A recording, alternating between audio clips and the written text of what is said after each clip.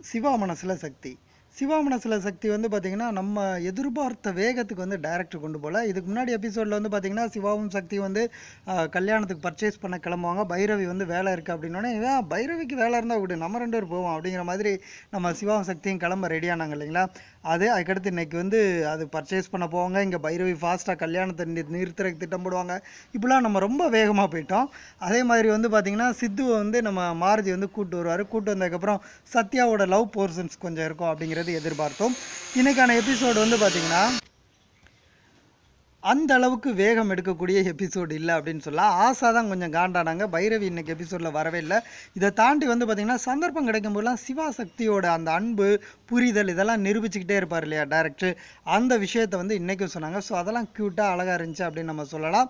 ஆனால் இது மீண்டும் மீண்டும் இதை மாதிரி காட்டுவாங்க. அடுத்த சீனே வந்து பார்த்தா சிவா வந்து சக்தி மேலே பாய்வார். என்னப்பா இது அப்படிங்கிற மாதிரி அப்போ தான் நமக்கு கடுப்பாகும். சரி ஓகே இன்றைக்கான எபிசோடு வந்து பார்த்திங்கன்னா சிவாவும் சக்தியும் ரெடி ஆகிட்டு வர்றாங்க. ஆசா வந்து பூ கட்டிகிட்டு இருக்காங்க. எங்கே கிளம்பிட்டாங்க? போகும்போது சொல்லிட்டு தானே போகணும் அப்படிங்கிற மாதிரி உட்காந்துருப்பாங்க அப்புறம் வந்து ஏதோ ஒன்று குறையுது அப்படின்ட்டு சிவா வந்து சக்தி கிட்ட சொல்லுவார். ஆ அப்படின்னு சொல்லிட்டு ஆசாவை கூப்பிட்டு அந்த பூவை கொண்டு வா அப்படின்னோடனே இது சாமிக்கு அப்படிம்பாங்க. சாமிக்கு வேறு பறிச்சுக்கலாம். நம்ம வீட்டில் இல்லாத பூவா கொண்டு வா அப்படின்னு சொல்லிட்டு வாங்கி கொடுப்பாரு. நீங்கள் தானே வாங்குனீங்க? நீங்களே வச்சு விடுங்க அப்படின்னு சொல்லிட்டு சக்தி சொன்னோடனே சக்தி வந்து அப்படியே சொன்னதுக்கப்புறம் வந்து சிவா தயங்குவார். இந்த மாதிரி ஆசாலாம் இருக்குது அப்படின்னோடனே ஆசை இருந்தானே? நம்ம ரெண்டு பேரும் ஹஸ்பண்ட் கணவன் மனைவிங்க வைங்க அப்படின்னு சொன்னோடனே வச்சிருவாரு. இதை பார்க்குறப்ப ஆசாக்கு செம்ம காண்டாகும். அப்படியே இது கட்டுப்போட பார்த்துட்ருப்பாங்க அதுக்கடுத்து இவங்க கிளம்பி போகிறப்ப என்ன ஒன்றுமே சொல்லாமல் போகிறாங்க எங்கே போகிறாங்கன்னு வெளியே போய் பார்த்தா தெரிஞ்சிடும் அப்படின்ட்டு வெளியே போய் எட்டி பார்க்குறக்கா பின்னாடி ஃபாலோ பண்ணுவாங்க. இங்கே பைக்கில் இவங்க ரெண்டு பேரும் வந்து புல்லட்டில் ஏறிட்டு புல்லட்டில் அப்படியே ஊரில் அப்படியே ரவுண்டாக போகிறது பேக்ரவுண்டில் ஒரு சாங்கு அப்படியே அப்படியே ரொமான்டிக்காக வந்து மூவ் பண்ணி கொண்டு போயிட்டே இருப்பாங்க.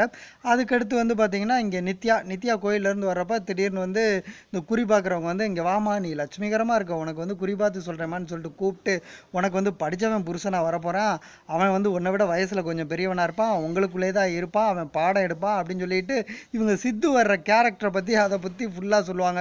அவனோட வலது காலில் ஒரு மச்சம் இருக்கும் அப்படின்னு வேற சொல்லிடுவாங்க ஏன்பா இது நடிகன் படத்தில் பார்த்த சீக்வன்ஸாக இருக்கே. அதை கொஞ்சம் உல்ட்டா பண்ணுறீங்களே அப்படிங்கிற மாதிரி நமக்கு வந்து தோணுச்சு. சார் இந்த இந்த சீக்வன்ஸ் தேவையே கிடையாது. நீங்கள் கரெக்டாக கதைக்குள்ளே ரெடியாக உள்ளே ட்ராவல் ஆகலாம். நடிகனில் வர்ற மாதிரி ஒரு காமெடி சித்து வச்சு ட்ரை பண்ணோன்னு முடிவு பண்ணிட்டாரா என்னன்னு தெரில இதை சித்து வேற சொல்லுவார் நான் நடிகன் சத்யராஜ் மாதிரி கெட்ட போட்டிருக்கேன்ட்டு. ஸோ அதை மீன் பண்ணி தான் போகிறாங்க அப்படிங்கிறது கிளியராக தெரியுது. அதுக்கடுத்து இதை யோசிச்சுட்டே போவாங்க நித்யா. நம்ம படிக்கலை நமக்கு என்ன படித்த மாப்பிள்ளை அப்படின்னு சொல்லிட்டு அவங்க யோசிச்சுட்டே போவாங்க. அதுக்கடுத்து இந்த கடையில் வந்து இவங்க நிறையா புடவை பார்த்துட்டு பிடிக்கல பிடிக்கலங்கிறப்ப ஏன் அப்படிங்கிறப்ப குடோன்லேருந்து இருக்கு எடுத்துகிட்டு வாங்க அப்படிங்கிறப்ப கடைக்காரர் டென்ஷன் ஆவார். அங்கேயும் பிடிக்கலன்னா நீங்கள் காஞ்சிபுரம் தான் பண்ணோன்னே காஞ்சிபுரத்துலேருந்து தான் வரோம் நீ போயா போய் எடுத்துகிட்டு வாயா அப்படிங்கிற மாதிரி சக்தி சொல்லுவாங்க. எதுக்கு இவ்வளவு இது பண்ணுற அப்படிங்கிறப்ப வந்து நல்ல புடவையாக இருக்கணும். ஏன்னா நாளைக்கு நமக்கு பேரம்பேத்தி வர்றப்ப அவங்கள வந்து நம்மளோட கல்யாண ப புடவையில் தான் தொட்டில் கட்டணும். அந்தளவு ஸ்ட்ராங்காக இருக்கணும். அதை பார்த்து தான் எடுக்கணும். ஏன்னா அது முகூர்த்தப்பட்டு இல்லையா? அப்படிங்கிற மாதிரி வந்து நம்ம சக்தி வந்து விளக்கெல்லாம் சொல்லுவாங்க. அதுக்கப்புறம் வந்து எடுத்து போடுறாங்க. எல்லாம் பார்க்குறப்ப சக்தி ஒரு இதை செலக்ட் பண்ணிடுறாங்க. சிவா வர்றாரு. சிவா வந்ததுக்கப்புறம் இதில் நான் எதை செலக்ட் பண்ணேன்னு சொல்லுங்கள் அப்படின்னோடனே அவர் தேடி பிடிச்சி இதான் அப்படின்னோடனே எப்படிங்க கரெக்டாக கண்டுபிடிச்சிங்க அப்படிங்கிற மாதிரி அவங்க வந்து சொல்கிறாங்க அதான் நான் உன்னை புரிஞ்சு வச்சுக்கிட்டது நல்லா புரிஞ்சு வச்சுருக்கேன். உன் மனசில் என்ன நினைக்கிறியோ அது எனக்கு தெரியும். நான் குருஜியை பார்க்க போனப்பே சொன்னேன்ல அப்படின்னு சொல்லி சொல்லுவா அப்படி.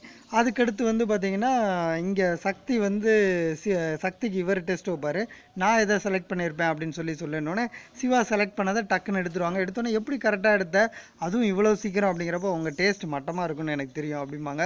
என்னது மட்டமாக இருக்குது அப்போ இது நல்லா இல்லையா அப்படிங்கிறாரு அதெல்லாம் இல்லைங்க சும்மா சொன்னேன் அப்படின்னு சொல்லிட்டு சூப்பராக இருக்குது அப்படின்னு சொல்லுவாங்க. இந்த இடத்துல வந்து பார்த்திங்கன்னா நம்ம சக்தி செலக்ட் பண்ண போடவே இன்னொருத்தர் ரெண்டு பேர் அவங்க பொண்ணோட வளகாப்புக்கு அப்படின்னு சொல்லிட்டு எடுக்க போவாங்க. எடுக்க போனோடனே அதெல்லாம் இல்லை அதை எடுத்துட்டாங்கன்னு அந்த கடைக்காரர் வந்து சொன்னதுக்கப்புறம் வந்து இதை மாதிரி பரவாயில்ல. நீங்கள் வந்து கல்யாணம் ஆன மாதிரி தான் இருக்கீங்க.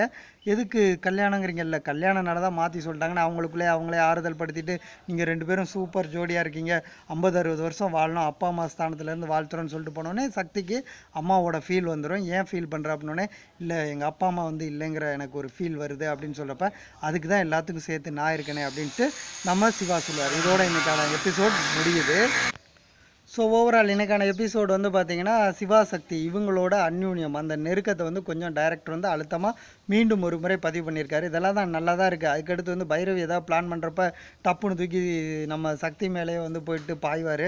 அந்த இடம் மட்டும்தான் கொஞ்சம் கடுப்பாக இருக்குது அப்படின்னு நம்ம சொல்லலாம். அதுக்கப்புறம் வந்து பார்த்திங்கன்னா நம்ம சித்து மேட்ரு சித்துவை வந்து கொண்டு போய் நித்யாவோட கோர்த்து விட்றாங்க. எதுக்காக கோர்த்து விட்றாங்கன்னு தெரில இந்த நடிகன் படம் மாதிரி கொஞ்சம் காமெடி பண்ணிட்டு நம்ம ட்ரை பண்ணுவோம்யா அப்படிங்கிற மாதிரி ட்ரை பண்ணுறாங்களான்னு தெரில என்ன நடக்குது அப்படிங்கிறத பொறுத்திருந்து பார்ப்போம். மீண்டும் சந்திப்போம். நன்றி.